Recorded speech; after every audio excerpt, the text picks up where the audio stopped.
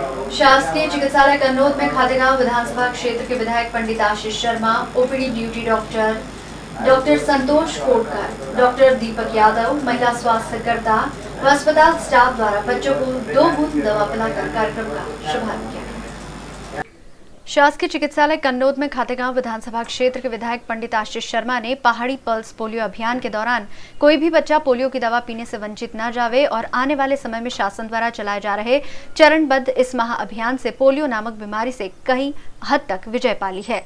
विकासखंड कन्नौद चिकित्सा अधिकारी डॉक्टर मेधा पटेल द्वारा सतवास में दो बूंद दवा पिलाकर कार्यक्रम का शुभारंभ किया गया।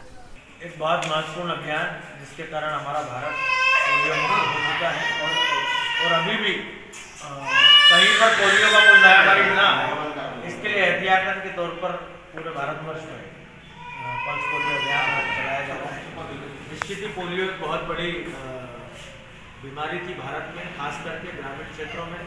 अज्ञानता के कारण वैक्सीनेशन नहीं होने के कारण।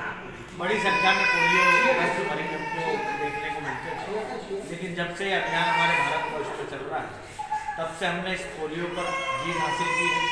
कई सारी बीमारियाँ और ऐसी भी हैं जिन पर भी अभी विजय प्राप्त करना वैज्ञानिकों के लिए, डॉक्टरों के लिए और विज्ञान के लिए भी चुनौती है। निश्चित ही जिस तरह से विज्ञान प्रगति कर रहा है नए नए अनुसंधान कर रहे हैं, आने वाले समय में हम कई सारी बीमारियों पर विजय प्राप्त कर सकते हैं।